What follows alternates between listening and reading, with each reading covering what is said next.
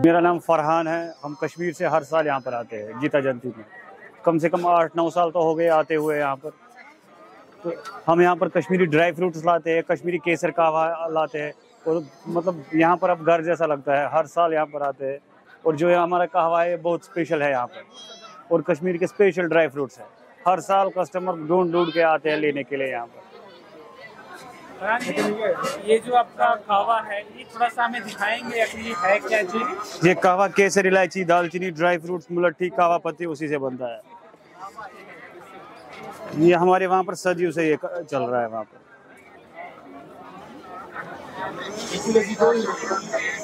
सदियों से चलता है। केसर इलायची दालचीनी ड्राई फ्रूट मुलट्ठी कावा पत्ती इस सर्दी के काम आता है बुखार होता है उसके काम आता है। गला खराब होता है उसके काम आता है।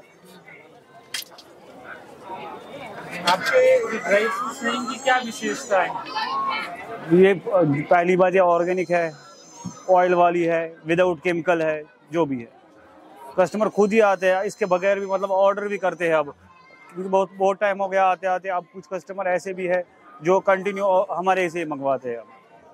ऑनलाइन के थ्रू आपसे जब भी मिलते हैं तो आप बोलते हैं कि यार हमें तो यहाँ बहुत अच्छा लगता है। हाँ आप थोड़ा अपना अनुभव बताएँ कई सालों से आ रहे हैं लोग नहीं, मिलते हैं कैसा लगता है? बहुत अच्छा। कहने की मतलब वो नहीं है बहुत अच्छा लगता है। हर साल हर साल हमारा काम काम भी अच्छा रहता है और कस्टमर भी अपने जो पहले आए होते हैं वो फिर से आते हैं।